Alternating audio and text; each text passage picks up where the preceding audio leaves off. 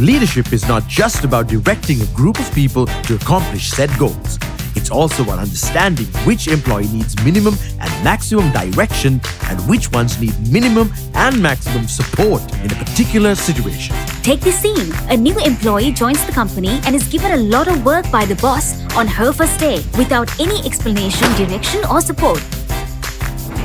Is this the way to go? A leader must be aware of every employee's development level and the situation and adjust the leadership style accordingly. There are four situational leadership styles.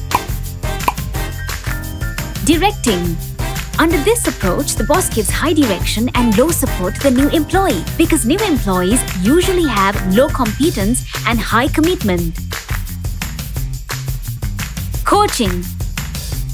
Under this approach, the boss gives high direction and high support to the employee. This employee usually has low to some competence in his job and low commitment.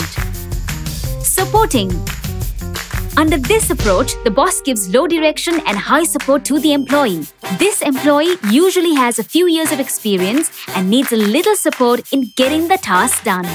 Delegating.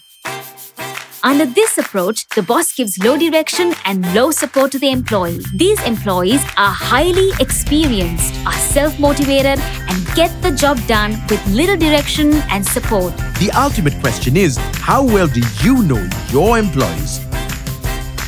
Enroll at Bristol Institute of Business Management for more info.